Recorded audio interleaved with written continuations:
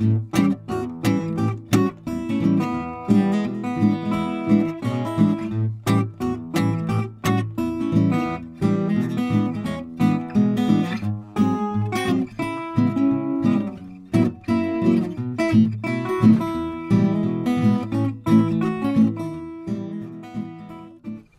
Bonsoir à tous, chers amis qui aimez les plantes, le jardin, le jardinage, la botanique et la nature. Oui, oui, oui, vous êtes au bon endroit puisque vous êtes sur News Jardin TV, la chaîne qui déchaîne toutes ses passions, mais aussi qui les partage avec vous, et ceci tous les jours.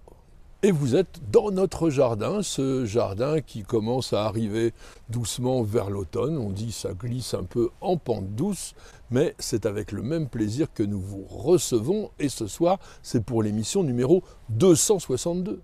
Cette émission qui vous est laissée à libre disposition pendant au moins quelques jours. Et puis ensuite, bien sûr, si vous désirez avoir accès à toute la collection et ceci en permanence, eh bien, vous n'avez qu'à nous rejoindre en devenant membre de News Jardin TV le club. Et c'est avec ma petite jardinière Nicole qui se trouve actuellement derrière la caméra pour réaliser toutes les images vidéo de cette émission que nous réalisons ce jardin. C'est aussi avec elle que nous sélectionnons vos questions et merci de les poser. Elles sont vraiment très très importantes. Et d'ailleurs, c'est le principe de notre émission. Je réponds chaque soir à l'une de vos questions. Et ce soir, c'est celle d'Amina Jasmina qui nous dit la chose suivante. Je voudrais donner une touche exotique à mon petit jardin en plantant une cordyline d'Australie. Pensez-vous que la variété à feuilles roses, que je trouve magnifique, pourra vivre dans l'Oise où j'habite? Effectivement, Cordyline australis est un arbuste à port dressé qui est originaire de Nouvelle-Zélande et qui va procurer une réelle touche exotique dans un jardin. Mais malheureusement, disons-le tout de suite, il va être difficile de l'installer à demeure dans l'Oise parce que c'est une plante frileuse et la seule solution c'est de la cultiver en pot et de pouvoir l'hiverner correctement dans une véranda par exemple. La création du genre cordyline a d'abord été attribuée en 1810 au botaniste écossais Robert Brown. Mais il a lui-même reconnu que Philibert Commerson, le naturaliste français qui avait accompagné Bougainville, en était le créateur. Et donc la nomenclature botanique internationale a rétabli la parenté du genre cordyline à ce grand naturaliste français. Commerson s'était inspiré du grec cordoulé, qui veut dire bosse ou tumeur, en raison de la présence de rhizomes pivotants épais chez certaines espèces de cordyline. Et par exemple d'ailleurs chez les vieux spécimens de cordyline australis, le rhizome peut plonger verticalement dans le sol jusqu'à 3 mètres de profondeur. Et ce rhizome sert non seulement à ancrer la plante dans le sol, mais aussi et bien sûr d'organe de réserve parce qu'il stocke des sucres. Le genre cordyline compte 26 espèces, ce sont toutes des plantes ligneuses de la famille des asparagacées, grande famille un peu fourre-tout, il faut bien le dire, et qui sont originaires soit de Nouvelle-Zélande, d'Australie, des îles de l'ouest du Pacifique ou d'Asie du Sud-Est. Sous nos climats, on ne va guère cultiver dans les jardins que Cordyline australis, dont le premier spécimen a été collecté en 1769 dans la baie de Totaranui au nord de l'île sud de la Nouvelle-Zélande et ceci par l'anglais Joseph Banks, qui était un naturaliste et grand voyageur. Et il y avait aussi le suédois Daniel Solander, parce que tous les deux étaient naturalistes à bord de l'Endeavour, le fameux bateau qui a été utilisé par le capitaine James Cook lors de son premier voyage dans les îles Pacifiques et autour du monde. Et Cordyline australis a d'abord été décrit en 1786 dans le genre Dracena, qui est assez voisin et ceci par le naturaliste allemand Johann Georg Adam Forster. Et le transfert dans le genre cordyline qui est aujourd'hui valide a été effectué en 1833 par le botaniste autrichien Stefan Ladislaus Handliker. Cordyline australis est un arbre endémique de la Nouvelle-Zélande où il peut dépasser 15 mètres de haut. Et on va le rencontrer dans un très large éventail d'habitats, depuis les lisières des forêts jusqu'aux berges des rivières en passant par tous les lieux ouverts. Sa rusticité est de l'ordre de moins 8 degrés environ dans un sol bien sec. Et c'est ce qui explique qu'on peut l'accueillir dans pratiquement tous les jardins du littoral. C'est plus délicat lorsqu'on rentre dans les terres. Jusqu'à sa première floraison qui apparaît généralement entre 6 et 10 ans, Cordyline australis développe une tige mince, non ramifiée. Et puis ensuite, la plante va se diviser pour former une couronne, cette fois-ci ramifiée, qui porte des touffes de feuilles, et ceci à l'extrémité des branches. Si l'on regarde les vieux sujets, l'écorce est gris pâle, à gris foncé, liégeuse, fissurée, et lorsque vous la touchez, elle est assez souple. Les feuilles sont persistantes, simples, épaisses, lancéolées, fines, arquées, avec des nervures parallèles, et chez les grands sujets, elles atteignent un mètre de long. Et en fonction des cultivars, elles vont pouvoir présenter des ou des nuances colorées très variables et très décoratives. Les petites fleurs, qui mesurent environ un demi-centimètre de long, sont réunies en panicules odorantes qui, elles, mesurent de 60 cm jusqu'à 1 mètre et qui apparaissent au milieu du printemps. Ces fleurs vont s'épanouir pendant 4 à 6 semaines. Elles sont extrêmement nectarifères. Elles attirent un grand nombre d'insectes et notamment les abeilles et les papillons de nuit. Et sachez que chaque inflorescence porte en moyenne de 5000 à 10 000 fleurs. Lorsque la pollinisation s'est produite, le fruit arrive environ deux mois plus tard et c'est une baie blanche très appréciée des oiseaux. Et c'est même d'ailleurs la nourriture préférée du kérarou, le pigeon néo-zélandais. Et dans la nature, les oiseaux contribuent largement à la dispersion de la cordyline parce que les 3 à 6 graines noires brillantes que contient le fruit sont enrobées d'une substance noire qui les protège dans le système digestif de l'oiseau. Donc il ne les digère pas. Vu l'aspect spectaculaire de Cordyline australis, les horticulteurs ne se sont bien sûr pas gênés pour créer des cultivars.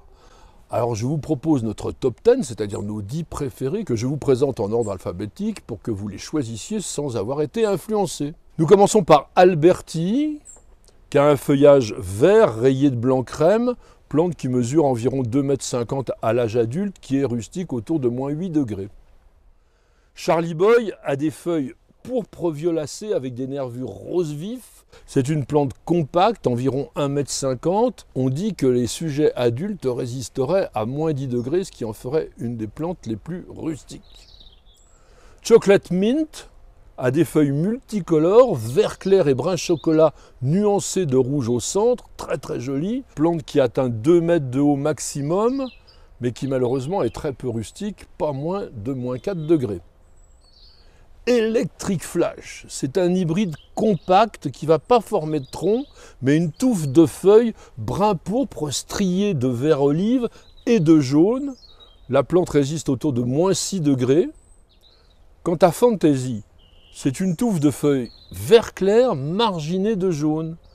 Et la plante est compacte, environ 1,50 m, résistance moins 5 degrés, hein, guère plus. Pink Passion, très très connue, plante très lumineuse qui forme une touffe de feuilles violet pourpre marginées de rose, plante assez compacte autour de 1 m, 1 m 50, rusticité autour de moins 6 degrés. Red Fountain un feuillage pourpre violacé presque noir et qui est subtilement rayé de rose. Il ne forme pas de tronc, il mesure environ 1 mètre et il fleurit très facilement, même chez des sujets assez jeunes. La rusticité, moins 5 degrés. Red Star, lui, est un cultivar vigoureux qui va dépasser largement les 3 mètres. Le feuillage est pourpre sombre, bordé d'un fin liseré rouge vif. Il résiste autour de moins 6 degrés. Renegade Tana a un feuillage lui aussi pourpre foncé, presque noir. La plante est très compacte, 1 mètre, mais il est plus rustique que les autres de sa couleur, autour de moins 7 degrés. Et puis nous terminerons par Torbet d'Azler, feuillage panaché de jaune clair, vert foncé et brun, très joli, plante de 2 à 3 mètres, spectaculaire, rusticité moins 7 degrés. Nous en avons d'ailleurs un spécimen au jardin qui a tenu le choc sans protection l'hiver dernier. Parce que Cordyline australis supporte les petites gelées à condition qu'elles ne durent pas trop longtemps et surtout que le sol soit bien sec. C'est une plante aussi qu'on peut exposer au vent, aux embruns, donc le bord de mer est vraiment idéal. et vous allez l'installer en plein soleil dans un sol drainé, comme je vous disais, mais qui reste frais en été. La plante ne résiste pas particulièrement à la sécheresse estivale. Donc c'est pourquoi on la voit surtout dans les régions à climat doux et assez humides, comme la Bretagne par exemple, où elles sont magnifiques, ou dans les îles anglo-normandes par exemple. Et là, elle va pouvoir atteindre de belles dimensions et surtout vivre plusieurs siècles. A l'inverse, dans les régions où les hivers sont bien présents, eh il est nécessaire de cultiver Cordyline australis en pot et de penser à la protéger du froid. Alors, vous pouvez idéalement la rentrer dans une serre qui va être maintenue hors gel ou dans une véranda, et si vous ne pouvez pas, emmitouflez-la bien de plusieurs tours de voile d'hivernage dès qu'il y aura un peu de fraîcheur. Et puis pour terminer, quelques anecdotes. Sachez que les Maoris en Nouvelle-Zélande ont utilisé Cordyline australis comme source de nourriture. Ils consommaient les tiges et les rhizomes charnus parce qu'ils sont riches en sucre.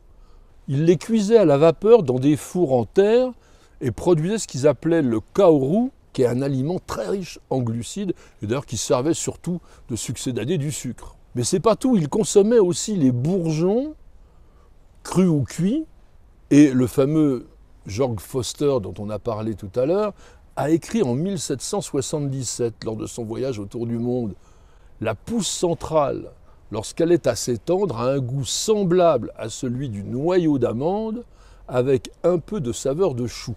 Et pour terminer, sachez que la plante fournissait aussi des fibres solides à la fois pour les textiles, mais aussi pour faire des cordes d'ancrage, des lignes de pêche, des paniers, des capes, des manteaux de pluie, parce que c'est imperméable, et puis même des sandales.